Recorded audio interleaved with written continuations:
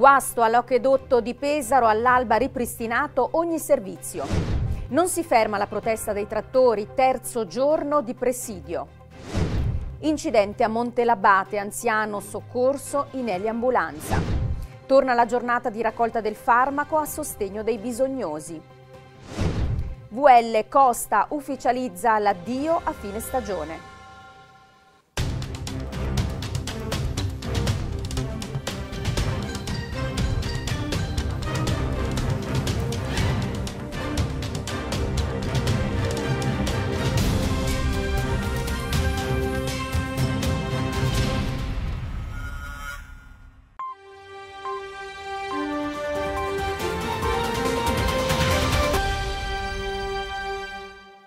Benvenuti al nostro Rossini News. Oggi è mercoledì 7 febbraio. Apriamo questa edizione occupandoci della rottura dell'acquedotto di Pesaro, di una delle principali condotte idriche della città. Dopo un lavoro non stop da ieri pomeriggio a questa notte il guasto è stato riparato e l'erogazione dell'acqua è tornata alla normalità soltanto all'alba. In questo primo servizio quindi andiamo ad approfondire quanto accaduto. Fra l'una di notte e le 6 di questa mattina è stata ripristinata l'erogazione dell'acqua in tutte le zone di Pesaro rimaste a secco a partire dal pomeriggio di ieri in seguito alla rottura della condotta idrica in uscita dal serbatoio di San Gaetano in zona Villa Fastiggi. Un serbatoio collocato a pochi metri dal ponte dell'autostrada 14 che attraversa l'interquartieri. Questa mattina la cabina impianti vedeva in regolare funzione la nuova valvola di scambio dopo che ieri sera è intervenuta pure un'autogru per sollevare e rimuovere il vecchio componente danneggiato del peso di oltre 60 quintali. Un pomeriggio, una sera e una notte di lavori per Marche Multiservizi intervenuta con tutto il personale a disposizione per ridurre i disagi. L'acqua è mancata a macchia di leopardo in buona parte dei quartieri di Pesaro. Attorno a luna di notte si è cominciato il ripristino dell'erogazione, poi completata all'alba. Ieri pomeriggio abbiamo avuto una rottura sulla condotta che esce dal principale serbatoio di Pesaro e che alimenta tutta Pesaro.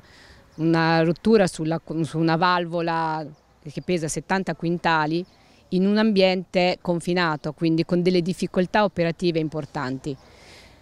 Abbiamo, siamo intervenuti col nostro personale, con una dozzina di uomini, otto mezzi, con, chiamando anche una ditta specializzata per estrarre una valvola così pesante e abbiamo eh, cercato di limitare per prima cosa i danni, quindi isolando le zone limitrofe, quindi assicurando acqua alle zone limitrofe e, le, e togliendo l'acqua soltanto alle zone indispensabili. In realtà come spesso accade eh, una parte di Pesaro ha continuato per fortuna ad avere l'acqua fino al pomeriggio, anzi alla sera di ieri, in altre l'acqua è andata via prima. Poi gradualmente l'acqua, una volta terminato l'intervento, è stata ripristinata in tutta la città. Si è trattato di un guasto alle condotte assolutamente inusuale. Questa è una valvola vecchia eh, che ha oltre 40 anni, quindi eh, una fallanza ogni tanto può capitare. Questa era la prima volta che è successa una cosa di questo tipo. Per fortuna però la macchina operativa è riuscita a intervenire tempestivamente cercando di limitare i danni. Eh, abbiamo col telecontrollo monitorato sempre la situazione e cercato appunto di creare il minor disagio possibile. Condotte vecchie sulle quali esiste una prospettiva d'ammodernamento. Abbiamo fatto dei programmi di manutenzione importanti e stiamo eh, aspettando il via del PNRR per poter dare inizio a tutta una fase di rinnovamento reti, di ottimizzazioni delle, della, di, della distribuzione dell'acqua, ma anche per la digitalizzazione per avere sempre delle strutture più efficienti. Continua la protesta dei trattori a Pesaro. Dopo il corteo di lunedì, tanti agricoltori restano in presidio fisso al casello autostradale, invocando mosse concrete dal governo. Continua la protesta dei trattori al casello autostradale di Pesaro. Dopo il corteo di lunedì, quello di oggi è stato il terzo giorno di un presidio fisso che continuerà fino a venerdì. Intanto i manifestanti hanno consegnato un documento con le loro richieste al prefetto, tanta la solidarietà dei passanti e dei cittadini nei loro confronti, così come tanto è lo scetticismo nei confronti della politica e dell'Unione Europea. Onestamente alle promesse della politica ci crediamo poco, perché sono 30 anni che, vanno avanti e oggi i, fatti sono pochi, anzi gli ultimi due anni hanno dimostrato che, che sono tutta aria fritta. I sussidi sì sono importanti, ma noi vogliamo la nostra protesta è perché noi vogliamo eh, aver riconosciuto un prezzo equo la filiera deve essere ridistribuita, deve, deve essere ridiscussa. Al prefetto abbiamo chiesto di poter partecipare ai tavoli tecnici perché noi siamo sì per, per, eh, per, smettere di produrre sotto costo, perché è questo che stiamo facendo, e siamo per garantire un prezzo più equo al consumatore. È questo è possibile. Innanzitutto vogliamo controlli eh, che, che, avvengano seriamente da enti pubblici sui prodotti che eh, vengono importati. E, perché deve esserci un, eh, un, chiaro tracciamento per il consumatore. Noi vogliamo che il consumatore sia ben consapevole di quello che arriva sulla, sulla sua tavola, perché oggi non è così. E chiediamo lo snellimento della burocrazia, chiediamo che non ci venga imposto cosa coltivare, eh, anche perché ne va a discapito della produzione e, e va a vantaggio della speculazione, perché meno produciamo, più, più aumenta la speculazione dell'industria e di tutti gli intermediari che ci sono tra noi e il consumatore finale. Tanta solidarietà da parte dei cittadini, no? c'è stata la distribuzione di cibo da parte dei cittadini e molte delle auto e dei camion che passano suonano il clacson come da indicazione data dai cartelli. È bellissimo, sì sì è molto gratificante e allo stesso tempo posso dire sensibilizza molto la cosa perché la gente forse non si rende conto di quello che arriva nelle loro tavole sia come prezzo e sia come qualità perché noi in Italia abbiamo certe eh, restrizioni che in altri paesi non hanno e allo stesso tempo il nostro prodotto non lo possiamo coltivare perché si dice che fa male e non ce lo fanno coltivare e allo stesso tempo lo portano dagli altri stati che questi vincoli non ce li hanno. E il Made in Italy, il nostro prodotto è, è, di una bontà infinita. Io cercherei un po' di puntare, di sensibilizzare la gente, far vedere dov'è il problema e cercare di cambiare, di avere un, veramente un bel cambiamento.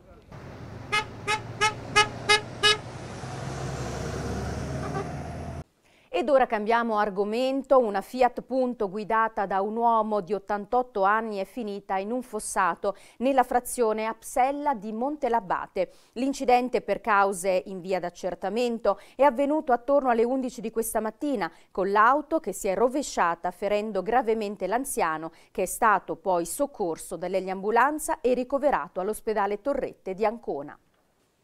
Ed ora lo spazio dedicato alle vostre segnalazioni, quindi vi invitiamo a mandarci messaggi, video al 370 366 7210. In questo caso andiamo a vedere le immagini che ci manda un residente di Cattabrighe e ci racconta di queste tre querce collocate su via Panaro, reputate pericolose in quanto mai potate da anni e in alcuni casi si tratta di piante malate con rami e tronchi secchi ritenuti a pericoloso rischio caduta per chi transita nella stessa via, soprattutto in caso di maltempo. La segnalazione invoca un intervento di messa in sicurezza di verde urbano rimandato da anni. Da oggi fino a lunedì 12 febbraio in 5.000 farmacie italiane viene chiesto ai cittadini un gesto di solidarietà nel donare uno o più medicinali da banco per bisognosi e famiglie in difficoltà. 24esima giornata di raccolta del farmaco che anche a Pesaro vedrà coinvolte 51 farmacie che raccoglieranno medicinali da donare a decine di enti caritatevoli del nostro territorio. Anche quest'anno eh, nella nostra provincia eh, siamo in prima linea eh, con ben 51 farmacie che hanno aderito all'iniziativa, eh, eh, farmacie che sono abbinate a eh, enti de del territorio. gli enti sono 29, quindi avremo veramente bisogno della generosità di tutta la popolazione di Pesaro e della provincia per aiutare appunto gli indigenti di questi enti. Eh, non abbiamo dubbi su questa generosità perché chiaramente si sono distinti anche negli anni passati perché ormai qui a Pesaro e provincia siamo alla ventitresima eh, edizione eh, del banco farmaceutico quindi abbiamo proprio cominciato tutti insieme e ringrazio ringrazio proprio anche far i farmacisti che ehm, ogni anno dicono il loro sì.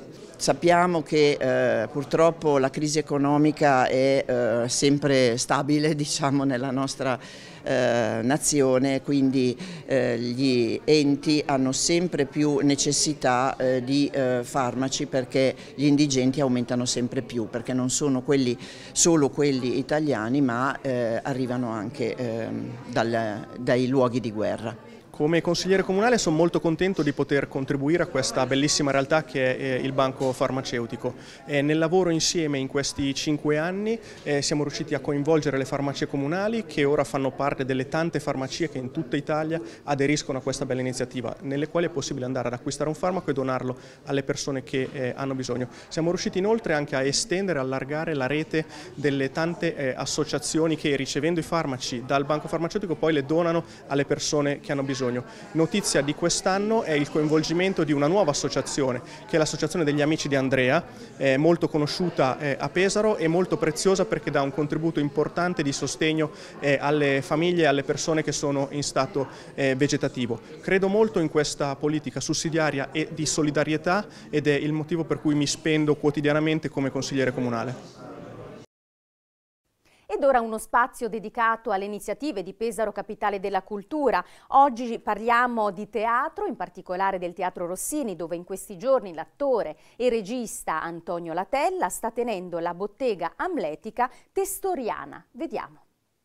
Numeri 736 milioni 29 mila io, 836 milioni 45 mila io e tu? Nell'elenco del computer, dispotico, sociale, a fuoco, sulla schiena, per sempre, tutti fummo così cognominati, il vero nome e verbo ci fu nelle schede compresso, si chiama BAT, o meglio Bottega Amletica Testoriana. È il progetto curato da Antonio Latella che si inserisce nel programma di Pesaro 2024 con l'obiettivo di mettere in relazione attrici e attori con la poetica di Giovanni Testori nel centenario della sua scomparsa. L'idea di un progetto vasto che, che, trova appunto la sua collocazione in Pesaro Capitale della Cultura proprio perché parte dall'idea di cultura come formazione, come ricerca soprattutto, una ricerca che è iniziata un anno e mezzo fa, che un grande maestro della scena come Antonio Latella ha, ha costruito, ha voluto assieme ad otto eh, giovani attori selezionati tra 605 che hanno risposto alla call del febbraio scorso. E quindi eh, l'idea che appunto per un anno si potesse vivere come sta accadendo fino alla mm, condivisione con il pubblico, con le parole di un grandissimo autore come Giovanni testori per sperimentare quali forme il teatro può prendere oggi e quale può essere il rapporto con lo spettatore, messo in discussione già sin dall'inizio perché abbiamo selezionato anche otto spettatori che hanno accompagnato tutto il progetto. Sarà addirittura una settimana a disposizione dalle 18 alle 22 e il Teatro Rossini sarà aperto a disposizione di chiunque. Abbiamo previsto tra l'altro un biglietto cortesia di soli 3 euro perché ci teniamo proprio che tutta la città venga a osservare questi percorsi di formazione accorgendosi della, della bellezza bellezza appunto che può nascere in questo teatro che vedrà in una dimensione diversa perché sarà lasciato appunto a vista eh, un luogo di condivisione, di comunità rispetto a questo atto teatrale inconsueto ma sicuramente carico di emozione sicuramente. I 45 progetti del dossier di Capitale della Cultura, un progetto veramente avanzato anche in termini di ricerca di ricerca teatrale, centinaia di candidature per arrivare a otto eh, giovani attori selezionati che in un anno e mezzo di lavoro arrivano alle giornate oggi di Pesaro, passando per la collaborazione e le sedute tenute anche al Piccolo di Milano, che è coproduttore del progetto e che attraverso il lavoro sui tre testi eh, amletici di eh, Testori, di cui ricorreva anche il centenario della nascita, e ribaltano alcuni dei canoni soliti della rappresentazione teatrale. E quello che faremo sarà interpretare i, i tre testi con i loro linguaggi e quello che faremo durante il lavoro sarà eh, invertire le parti e cercare di eh, lavorare sui tre testi con i tre linguaggi differenti. E la cosa bellissima del, di questo lavoro è che ti permette di um, fare delle prove sugli spettatori, nel senso che hai, provi delle scene, delle cose all'interno del, eh, delle, delle prove diciamo chiuse e poi a un certo punto puoi avere un riscontro, fare un riscontro con gli spettatori. Secondo me per gli spettatori è molto bello perché ti dà la possibilità di eh, vedere che cos'è il lavoro di, di, un attore, che non è solo fare memoria o, pre o preparare la scena, ma eh, riflettere sul testo, fare degli esperimenti, eh, invertirsi le parti. ha tante sfaccettature che, il, che lo spettatore non vede e che abbiamo capito in questi mesi che appassionano molto in realtà. Infilzati in sopra la corona le ferrame, infilzati le parure, i zaffiri, le incastrate pietre e gli incastonati smeraldi e accompagna e il tuo marito e il tuo cadavero qui, in sul palco.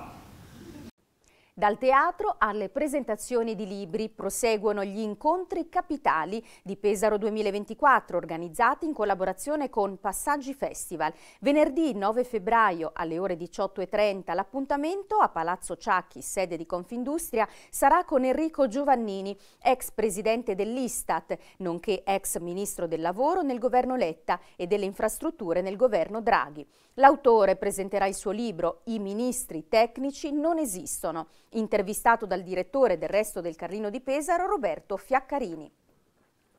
Sabato 10 e domenica 11 febbraio tornano ad Acqualagna la fiera regionale del tartufo nero pregiato e il carnevale del tartufo. Si tratta della fiera specifica del tartufo nero pregiato che si raccoglie dal 1 dicembre al 15 marzo. Da sabato mattina saranno aperti in paese stand di tartufo e di altri prodotti tipici, oltre che di artigianato artistico locale. Domenica in piazza Mattei l'appuntamento è invece con il Carnevale al Tartufo, che dalle 15 vedrà la sfilata dei gruppi mascherati e l'originale lancio dei tartufi. Dal tartufo di Acqualagna passiamo alle tagliatelle di Novilara che anche quest'anno deliziano il palato della BIT di Milano all'interno del padiglione allestito dalla Regione Marche nella prestigiosa Fiera del Turismo. Nell'occasione volontarie sfogline hanno servito tagliatelle con i fagioli, piatto tipico del ristorante di Novilara, il Pergolato da Maria, e hanno promosso la dodicesima edizione di Novilara Arte e Gusto, in programma in estate dal 5 al 7 luglio. Marche in vetrina non solo alla BIT ma anche al Festival di Sanremo dove è presente la Camera di Commercio marchigiana all'interno degli spazi del Villaggio Festival promossi oggi due eventi tipici del febbraio della nostra provincia, cioè il Carnevale di Fano e le settimane rossiniane che anticipano il compleanno di Gioacchino Rossini. Ed ora passiamo allo sport, si è conclusa poco fa l'attesa conferenza del presidente della VL Ario Costa, intervenuto alla Vitrifrigo Arena dopo la grave crisi di risultati della squadra biancorossa. Vediamo che cosa è emerso. Non mi sto dimettendo nel modo più assoluto, sto semplicemente comunicando a tempo debito a tutti voi, a tutti i tifosi e alla nostra città che al termine dell'attuale stagione sportiva lascerò il mio ruolo di Presidente. Lo dico oggi per dare modo, tempo e tutto quello che serve per riorganizzare un nuovo, una nuova governance della VL Dopo 12 anni Ario Costa lascia la presidenza della VL. L'annuncio ufficiale è arrivato questo pomeriggio nella conferenza stampa indetta nella sala stampa della Vitri Frigo Arena. Nessune dimissioni anticipate come era emerso secondo alcune illazioni a mezzo stampa che avevano preceduto questa conferenza stampa. Costa decide di annunciare con abbondante anticipo che a fine giugno non sarà più il presidente, ma da qui alla fine di giugno farà tutto il possibile per portare la squadra alla salvezza. Una decisione quella di lasciare la presidenza che alleggiava nella mente di Costa già dalla scorsa stagione, ma che lo stesso presidente ha deciso è diventata estremamente concreta nell'ultimo periodo. La decisione è stata maturata dall'anno scorso. Dall'anno scorso dopo i playoff la vittoria vinta con Milano avevo quasi maturato l'idea di, di, fare basta, perché per me avevamo raggiunto il massimo eh, della potenzialità di questa società, di questa squadra in questo momento qua. Poi l'amore che ho per questa squadra, per questa società è tanto che mi ha, mi ha detto no dai non posso perché ecco perché perché mi sentivo in quel momento lì che se lasciavo creavo un buco importante e non c'era il tempo necessario per coprirlo perché era maggio, fine maggio, quindi, eh, e quindi ho detto ok, vado avanti, però in quest'anno ho sempre giornata dopo giornata maturato il fatto che era arrivato il mio momento. Io voglio arrivare a fine anno, trovare tutti i sistemi immaginabili e possibili per cercare di aiutare la squadra a vincere le partite giuste per poterci salvare. Il tempo c'è, è difficilissimo, però il tempo c'è e, e i punti ci sono a disposizione, quindi faremo il possibile. In conferenza stampa Ario Costa ha fatto presente come si farà il possibile ma anche l'impossibile per portare la squadra alla salvezza, per non concludere questa lunghissima presidenza con una dolorosa retrocessione. A tal proposito ha stigmatizzato anche il comportamento degli arbitri, soprattutto quelli dell'ultima partita di Scafati, ritenuta inaccettabile e irrispettosa per la VL. Quanto alla decisione di lasciare la presidenza, ancora prima che la stampa, naturalmente la, eh, questa prospettiva è stata comunicata ai consorziati e a tutto lo staff un ambiente che ora ha diversi mesi davanti a sé per pensare al successore di Ario Costa, ancora tutto da individuare. Ripeto, è una decisione che non si torna indietro, ma più che altro insisto, ribadisco, lo ribadirò, eh, io spero che il consorzio si metta subito al lavoro insieme al sottoscritto, se hanno bisogno di qualsiasi tipo di consiglio, consulenza eh, o qualsiasi altra cosa, io sono disponibile, ma che si mettano subito in moto a trovare un'alternativa non tanto al Presidente, alla, alla, dire, alla, alla, struttura della squadra, della società, dei vertici per poter cominciare a lavorare da subito su quello che è il futuro. Il futuro è tutto da scrivere, non, sinceramente non, non ci sto pensando oggi, non so cosa, cosa dire, cosa farò, cosa, cosa posso pensare di fare. Senz'altro 50 anni di pallacanestro non si può così abbandonare del tutto, però se ci riesco lo farò.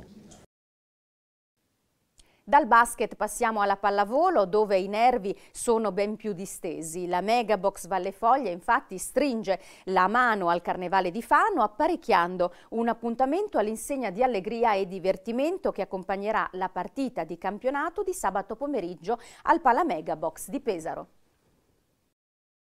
Megabox Volley e Ente Carnevalesca di Fano organizzano per sabato 10 febbraio al Pala Megabox di Pesaro il Tigers Day ovvero una giornata di festa dedicata agli atleti della squadra biancoverde. A partire dalle 17 l'impianto sportivo peserese ospiterà un evento pieno di musica, allegria e sport che culminerà con la partita tra Megabox Van Le Foglia e Savino del Bene Scandici, valida per la settima giornata di ritorno del campionato di pallavolo femminile di A1. Protagonista sarà il Vulon, maschera tipica del Carnevale di Fano, cui sarà affidato il tradizionale getto di dolciumi un prepartita che sarà anche allietato dall'esibizione dal vivo della cantante Melissa Gliottone, vincitrice di The Voice Italy Kids e rappresentante italiana al Junior Eurovision Kids Contest. Sarà una bellissima giornata di festa con tanta gioia, colore e, e, non solo ma anche dolce perché il Carnevale di Fano è il carnevale più dolce d'Italia e quindi oltre alla felicità delle maschere del Voulon e della maschera del Carnevale di Pesaro eh, ci sarà contraddistinto quindi dal lancio anche di dolciumi, quindi la pallavolo sarà ancora più dolce e felice e ci auguriamo che ci sia tanta partecipazione perché è una partita per mega volley importantissima. In più eh, quest'anno eh, il sindaco del Carnevale di Fano è Rabaken, che è ehm, la maschera di Pesaro e quindi siccome il Carnevale quest'anno vuole un po' disturbare perché il tema di quest'anno è proprio il disturbo fuori dalle righe, dagli spazi, abbiamo pensato anche per onorare Pesaro Capitale della Cultura a, questa, eh, a, quest, a questo sindaco che ha fatto insomma un certo scalpore, ecco diciamo, però convinti che il Carnevale, ehm, durante il Carnevale tutto si livella, come posso dire, e non ci sono belli brutti, bianchi neri, eh, ricchi poveri e non ci sono campanilismi. Quindi questa è bel, la grande forza del carnevale che dal 1347 ad oggi Fano si porta dietro. E continuiamo a parlare di Megabox Valle Foglia perché questa sera eh, vedrete alle ore 21.20 una nuova puntata degli Occhi della Tigre e questa sera conosceremo la pallavolista Gaia Giovannini che è schiacciatrice. E poi alle 21.40 andiamo a vedere quello che è stato uno degli eventi organizzati dal, dal, comune di Petriano nella settimana dedicata alla capitale della cultura e quindi vedremo Gallo d'Oro Special Edition. Domani vi aspetto al consueto appuntamento con la nostra rassegna stampa. Buongiorno Rossini puntuali alle 7.20, saremo in diretta sul canale 80 e sulla nostra pagina Facebook. E poi vi ricordiamo che domani è appuntamento eh, del giovedì con eh, la Carpegna Prosciutto Basket Pesaro. Domani insieme a Elisabetta Ferri conosceremo Marchis McDuffie, l'ala della Carpegna Prosciutto Basket e con lui ci sarà anche Raffaele Vitali, giornalista e opinionista. Scriveteci commentate in diretta al numero che vedete in sovrimpressione perché domani potrete vincere la sciarpa ufficiale della Carpegna Prosciutto Basket Pesaro. E allora grazie per essere stati con noi, rimanete connessi sul canale 80 su Rossini TV. Io vi auguro buona serata e ci vediamo domani mattina alla rassegna stampa.